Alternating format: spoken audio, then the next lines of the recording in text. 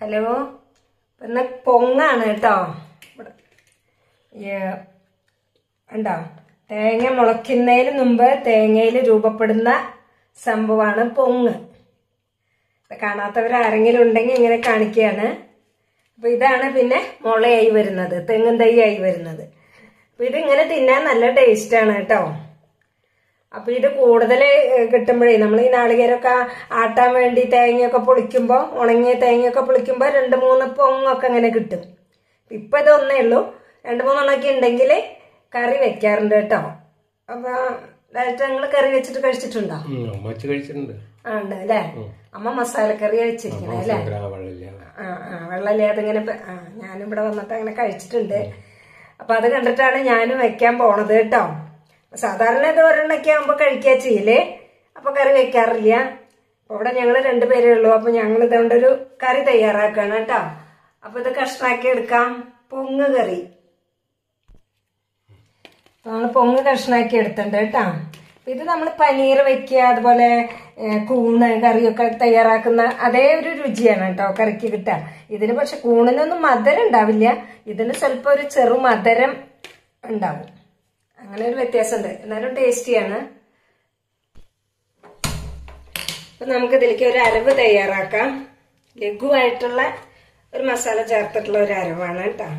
അപ്പൊ ഒരു കാൽ ടീസ്പൂൺ എണ്ണ ഒഴിക്കണം കേട്ടോ.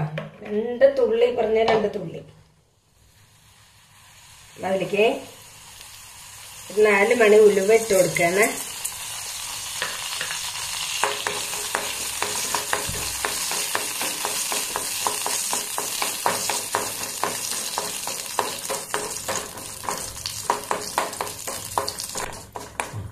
അപ്പൊ ഉലുവ കളർ മാറി വരുമ്പോ നമ്മൾ രണ്ട് സ്പൂൺ തേങ്ങ കേട്ടോ കുറച്ച് തേങ്ങാപ്പാൽ ഒഴിക്കുന്നുണ്ട്. തേങ്ങ വറുത്തെടുക്കുമ്പോൾ അതിന്റെ ഒരു രുചിക്കാണ്.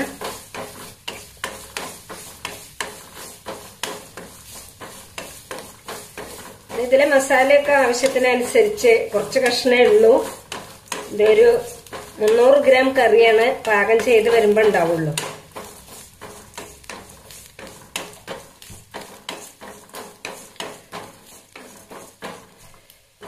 അതിലേക്ക് ഒരു രണ്ട് കരയാമ്പൂ അതുപോലെ ഒരു ഒരു നുള്ള പെരിഞ്ചീരക കേട്ടോ. ഒരുപാട് കുത്തൽ വരാൻ പാടില്ല. അപ്പൊ അതിനനുസരിച്ച് ചേർത്താൽ മതി. ചെറിയ കുട്ടികളൊക്കെ ഉണ്ടെങ്കിൽ കൊടുക്കുമ്പോഴേ. അതുപോലെ നാല് അണ്ടിപ്പരിപ്പ് ഒരു സ്പൂൺ നിലക്കടല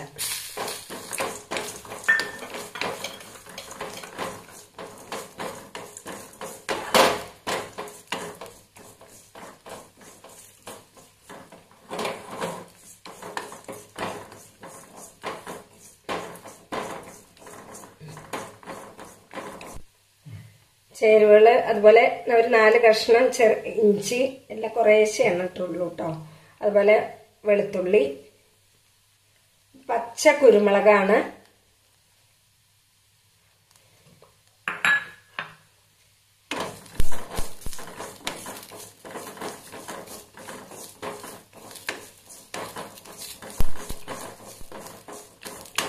തേങ്ങ ഒന്ന് ചോന്ന് വരുന്ന സമയത്ത് ഒരു നല്ലൊരു മണം വരും കേട്ടോ തേങ്ങ മുത്തതിന്റെ ചെറുതായിട്ടൊരു മണം വരുന്നുണ്ട്.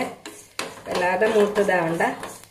അപ്പൊ നമ്മൾ ഒരു അര സ്പൂണ് ചെറിയ സ്പൂണാണ് കേട്ടോ മുളക് പൊടി.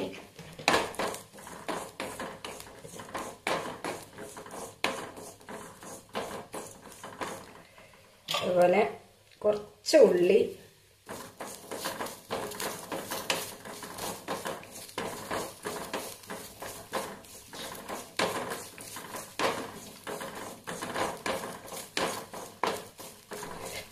രണ്ട് തണ്ട് കറിവേപ്പില. കറിവേപ്പില അരക്കുകയാണ് കറിവേപ്പിലയുടെ ഗുണം കിട്ടിക്കോട്ടെ എന്ന് കരുതിയാണ് കേട്ടോ.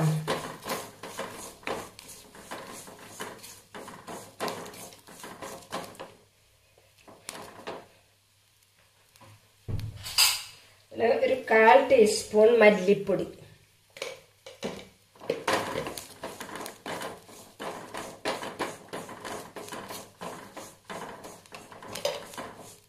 കടലപ്പരിപ്പിന് പകരം ഒരു നാല് മണി കടലപ്പരിപ്പ് ഇടാം കേട്ടോ. അതിന് പകരം ഒരു കാൽ ടീസ്പൂൺ കടല മാ അതിന്റെ പൊടിയാണ് കേട്ടോ. കടലപ്പരിപ്പ് പൊടിച്ചെടുത്ത പൊടിയാണ്.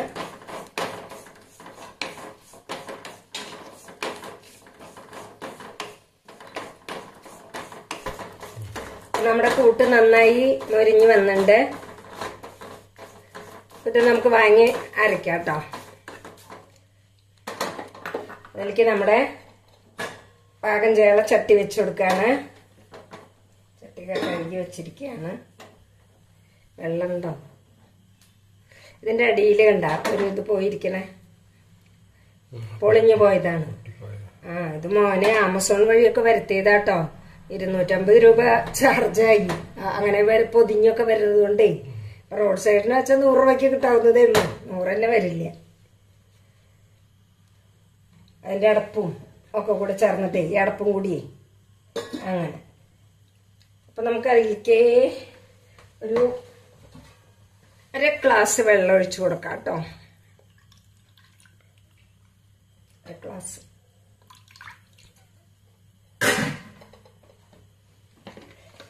ഒന്ന് മഞ്ഞൾപ്പൊടി ഒരു സ്പൂൺ.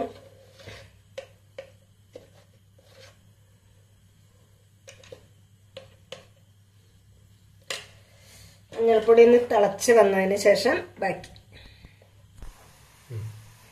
നമ്മൾ മഞ്ഞൾ ഒരു രണ്ട് മിനിറ്റ് തിളച്ച് വന്നിട്ടുണ്ട് കേട്ടോ.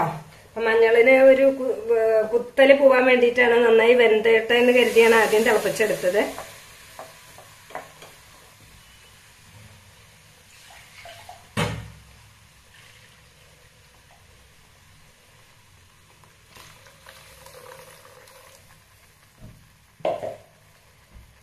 അതിലേക്ക് നമ്മൾ രണ്ട് ചെറിയ സവാള.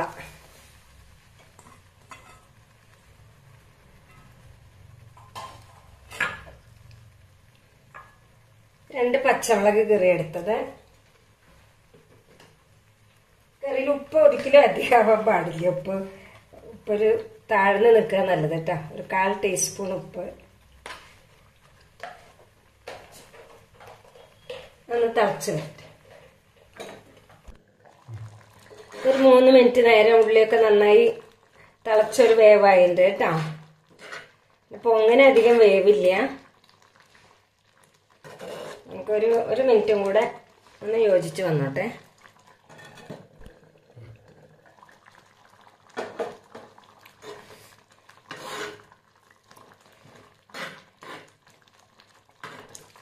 നമ്മളതിലേക്ക് പൊങ്ങിട്ട് കൊടുക്കുകയാണ് കേട്ടോ.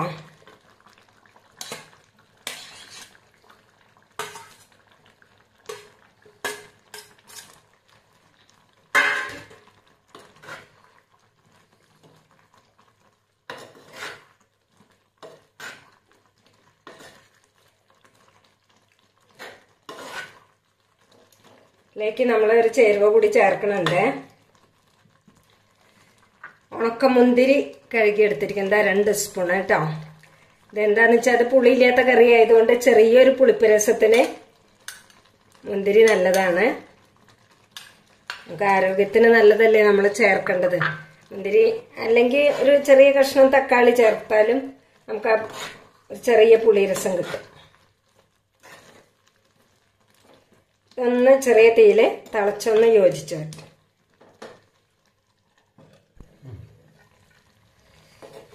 രണ്ട് മിനിറ്റ് യോജിച്ച് വന്നുണ്ട്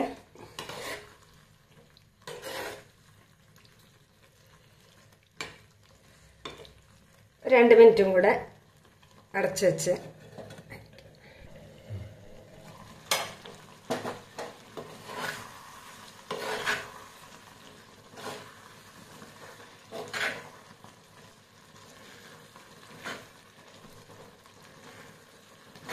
മസാലയുടെ മണമായിരിക്കില്ലേ ഒരു ഇറച്ചിക്കറിയുടെ മണം വരുന്നേ. മസാലയുടെ.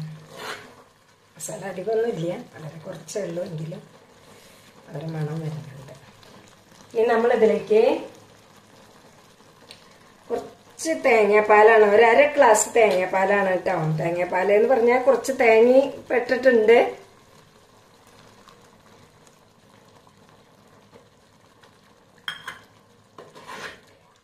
കറിക്ക് നല്ലൊരു രുചി കൂടുതൽ രുചി കിട്ടും.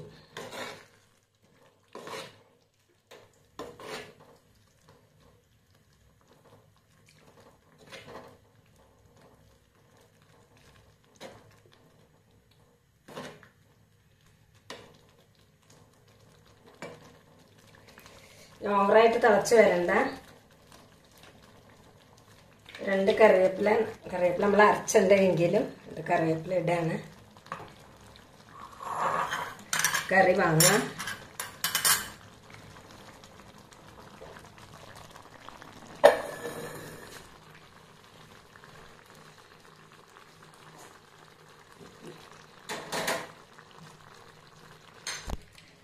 നമ്മളൊരു ചെറിയ സ്പൂൺ എണ്ണ ഒഴിച്ചു കൊടുക്കുന്നു കേട്ടോ.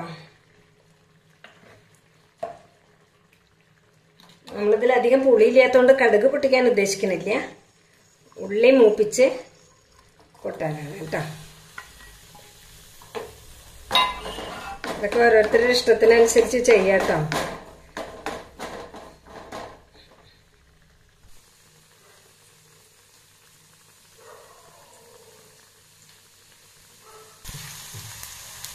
ഉള്ളി മൂക്കണോടുകൂടി നമ്മൾ ഒരു വെറ്റൽ മുളക് ഇട്ട് കൊടുത്തിട്ടുണ്ട് കേട്ടോ.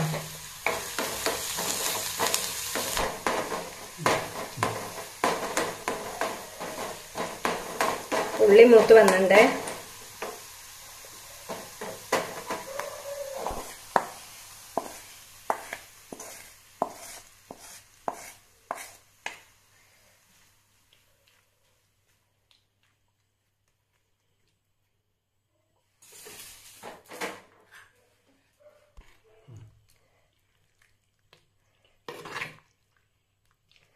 ചപ്പാത്തിയൊക്കെ ഉണ്ടെങ്കിൽ കഴിക്കാൻ അടിപൊളി. അല്ലെങ്കിൽ ഗോതമ്പ് ദോശ. അതിനൊക്കെ അടിപൊളിയാണ് കേട്ടോ. ചോറിനാനും നല്ല തന്നെയാണ്. അപ്പം എല്ലാവരും ഒന്ന് പരീക്ഷിച്ച് നോക്കിക്കോളൂ. ഒക്കെ വ്യത്യസ്ത രുചികളല്ലേ നമ്മൾ നോക്കണത്. അപ്പോൾ എല്ലാവരും നോക്കൂട്ടോ മക്കളെ? ഓക്കേ.